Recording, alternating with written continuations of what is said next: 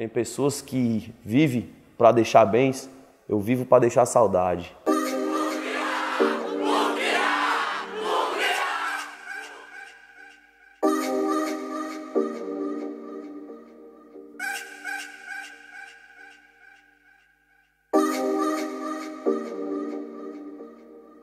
Eu vim da quebrada chamada Cidade Ocidental, na cidade do Goiás. E eu sempre tive contato com aquela molecada dos carros desde novinho. Eu era tipo uma Maria Gasolina, tá ligado? Quando a molecada passava tocando os carros, eu falei, ei tio, deixa eu dar um rolé. Tipo, me amarrava. E aquela molecada lavando o carro, sacou? Eu presenciei vários amigos com a conquista do primeiro carro, da primeira moto. Eu apenas com a bicicleta, mas já sonhava com a moto e com carro. Sonho da bicicleta, quem sabe a mobilete. Carrinho de rolimã não atiçava as piriguetes E que se for do personagem que quer me ver infeliz Que olha pro meu troféu, mas não vê minha cicatriz. E com aquela escova de cabelo que eu roubava da minha irmã Cantando assim de olho fechado, imaginando multidões. Cantando em uma só voz aquela música que eu tinha escrito dentro de um quarto então, isso é gratificante, ao mesmo tempo que eu falo, pô, nunca imaginei, eu, eu já imaginei sim tudo que ia acontecer. Eu sirvo um Deus, eu acredito num Deus maravilhoso, que, que não é Deus de promessa, né? É um Deus que, que é de cumprir.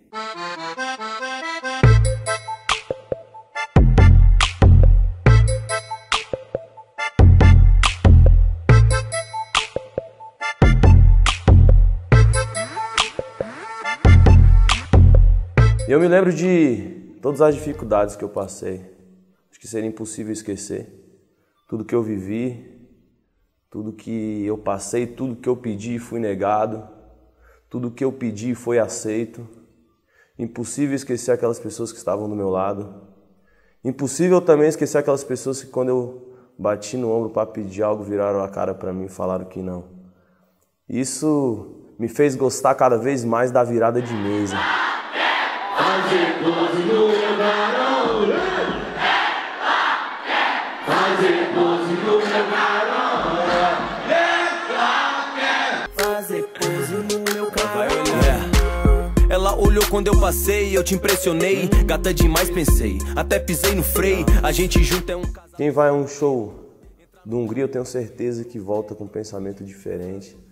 Minha mensagem, minha ideia, na verdade, não é estar tá lá levando essa parada de tem que ter. A ideia que eu levo é aquela ideia de que você tem que ser e não tem que ter. Meia-noite e meia hora da manhã eu pegava ônibus com 14 anos de idade e ali eu me destinava a uma cidade onde ia ter uma, uma balada, né, como é falado hoje. chegava lá, tinha alguns conhecidos que não podia entrar uma pessoa de menor na festa. Eu conseguia a entrada e distribuía meu CD ali. E teve um dia que, que ficou marcado na minha vida que eu pedi para cantar e o dono daquela casa de show falou não, mais tarde, mais tarde, mais tarde. E deixou esse moleque na esperança, né?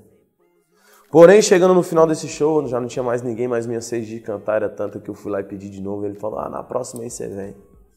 E recentemente eu encontrei esse, esse rapaz que me negou uma oportunidade. Só que eu não virei as costas. Eu falei para ele, a gente pode beber junto, mas naquela casa de show a gente não toca mais. Não é questão de vingança, é questão de falar onde a gente chegou, é questão de honrar as pessoas que precisam de uma oportunidade e às vezes não tiveram.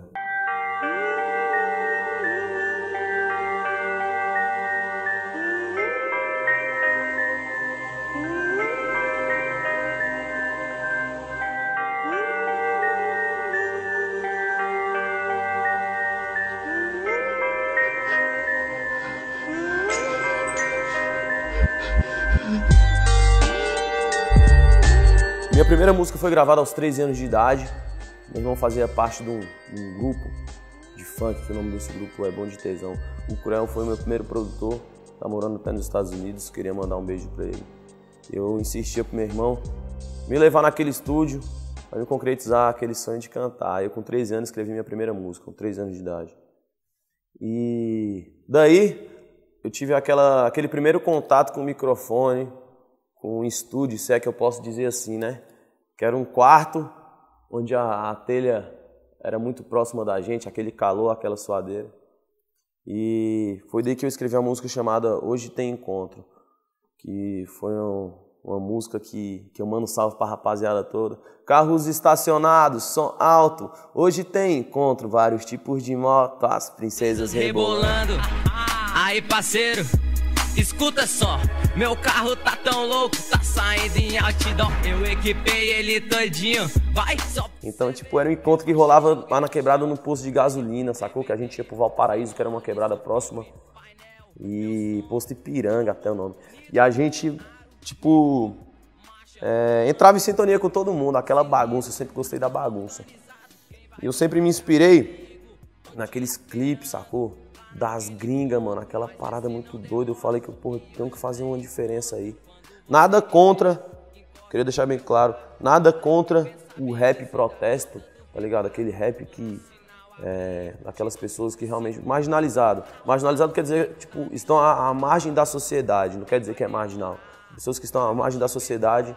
E não tem nenhum motivo pela, pelas, para essas pessoas cantarem algo, algo bom, né? Que é, tipo, diante de tanto sofrimento. Porém, na minha quebrada, eu quis levar uma mensagem positiva, sacou? Tipo, hoje a gente liga a TV, liga o noticiário, são tantas notícias ruins. E eu quis levar uma mensagem boa, uma mensagem diferente. Eu quero a quebrada sorrindo e a tristeza na lona. Os pivete jogando nos times de Barcelona. E se hoje tá de Nike, já teve com os pés no chão. Pra provar que o corpo pobre, a mente rica faz milhão. Eu me escuto muito intensamente, cara. Tipo, eu gravei uma música agora, isso é verdade, gravei uma música quinta-feira. Acho que quando deu sexta-feira, 9 horas da manhã, eu já tinha escutado essa música umas 45 mil vezes. Pô. Eu sou um cara muito eclético, sacou? Tipo, as pessoas podem não imaginar, mas eu escuto sertanejo pra caramba, mano. Quando eu tomo uma malandra, eu danço pra caralho, mano. Danço mesmo no meio do salão. Ó que eu tava botando até a música aqui, ó. Esse aqui é da, das antigas. Porra, deu até certinho aí, ó. Se liga aí, essa música aí, ó. Quando ela apareceu. Tá, o que lembra desse trem, malandro? Os olhos que passeiam logo se estremeceu. Isso aqui, ó. Pra quem não conhece, olha isso aí. Meus amigos falam que eu sou demais. Olha que loucura, hein? Curto sertanejo pra caramba, eu curto um rap, sacou? Eu curto, deixa eu ver, um pop, mano. Curto um, um pop, sacou? Eu, eu, sou um cara muito diversificado. Essa equipe que viaja comigo é, um, é uma família, né? Que Deus me deu de presente, é um presente que Deus me deu. Eu tenho um sonho, conversa direto, né? Eu sou muito doido, mano. Sacou? Doido que eu tô falando, não é aquele, ah, sou loucão, não, mano. Sou muito doido de minhas viagens, meus pensamentos. Então, essa parada que o Ale tocou, mano, eu viajo direto. Eu quero uma equipe gigante, sacou? Aquela equipe das pessoas que realmente gostam de mim, igual tem aí. Eu quero minha equipe com uma porrada de pessoas, mano. Um jato, um ônibusão. Esse ônibus eu quero concretizar esse ano, sacou? Um ônibusão, a gente viajando tudo junto. Mas eu, mano, um jato, tá ligado? Aquela foto, mano. Eu tomando uma lá no céu, mano. Tá ligado todo mundo? Hoje essa choratado vai. E as donas assim, pá, esbagaiando. Eu falei, bora, piloto. Toca, malandro. Que aqui não tem bafômetro, não. Mexe com minha mente, me deixa muito louco sem usar entorpecente. Mas eu sou paciente, porém meio delinquente. Os olhos observam mais o coração que sente. Começo pode ser final, final. Amo. Amo, amo muito, acho que o Hungria ama até demais, né? Acho que meu coração aí é. tá sendo amado. Amo todos aqueles que estão ao meu redor, minha família, meus amigos. E é isso aí. Amo, com certeza eu amo. Tu que se enganou, Hungria também ama. Abro mão de tudo, bebidas e fama. E vai ser só seu, o banco Agora do o playboy rodou.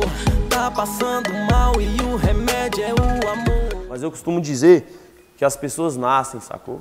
Tipo, nasce um cantor, mano.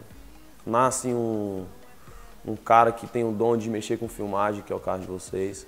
Nasce um apresentador de TV, sacou? Às vezes, pessoas não conseguem concretizar esse sonho. Mas realmente, as pessoas nascem com aquele dom, sacou? Eu escrevo, eu canto. Tipo, eu não aprendi a compor, Eu nasci com esse dom da composição, sacou? Saber que minha caneta fez de mim um bom poeta, que a rima bem escrita me tirou da bicicleta. O meu frevo tá banda, várias Patrícia cola. A da quebrada tá ensinando mais que escola. Se cedo o homem chora, mas. Muito obrigado pela oportunidade, 7008, estar convivendo comigo esse final de semana. É, é incrível estar com vocês, sentir a energia de vocês, pois vieram do mesmo ramo, da mesma correria, eu estava trocando a ideia com o Ale, e ele falou um pouco de mim, desse sonho dele, dessa correria, desse sucesso, junto, esse sucesso seguido de dificuldades, né? Às vezes as pessoas desacreditam da gente. E eu aprendi a tornar essas descrenças das pessoas algo para mim correr mais atrás das minhas coisas. Acho que me amarro Tipo, eu acho muito louco quando as pessoas falam que a gente não vai conseguir algo e a gente dá aquela virada de mesa e prova para essas pessoas que a gente pode ser o que a gente quiser. Lembrei daquela sexta-feira, pé descalço e poeira. Menino que se achava dono da quebrada inteira. De bicando pipa, saudade dessa idade. Nunca tive nada, mas tinha minha vaidade. Entre o sonho da bicicleta. Essa mensagem que eu queria deixar para todo mundo que nunca desacredite do sonho de vocês. É, nunca deixe seu ego ser maior que sua humildade. Acho que quando sua vaidade supera sua humildade, aí você tá fudido, né, parceiro? desses cara preta. Na baixa não, na baixa não, na baixa não. Me deixa longe dessa Não vou perder meu tempo com indireta na minha letra. Ô, oh, traz outra cerveja pra mim aí. Me deixa longe dessas três sensual. Não é isso aí, muito obrigado pela oportunidade, 7008, Ale, Leca, um beijo no coração e quero que me acompanhe cada vez mais nessa parada aí. Um beijo, gente. Os olhos observam mais o coração que sente. Começo pode ser final. Esse é o cara que não me chama no WhatsApp nem fodendo. Eu chamei. Calma, calma, aqui no moleque aí, ó. Vamos tocar, mano. Aí, sim. Bora não, pô. Que rola lá em Dubai. Nunca, deixe seu ego ser maior que sua humildade. Acho que quando sua vaidade supera sua humildade, você tá fudido, né, parceiro? No que se achava dono da quebrada inteira, de bicando pipa, saudade dessa idade. Nunca tive nada, mas tinha minha vaidade. O sonho da bicicleta quem sabe a mobilete, carrinho de rolimã não atiçava as piriguetes. E que se for do personagem que quer me ver infeliz, que olha pro meu troféu, mas não vê minha cicatriz. Os vizinhos charopando com som desses caras.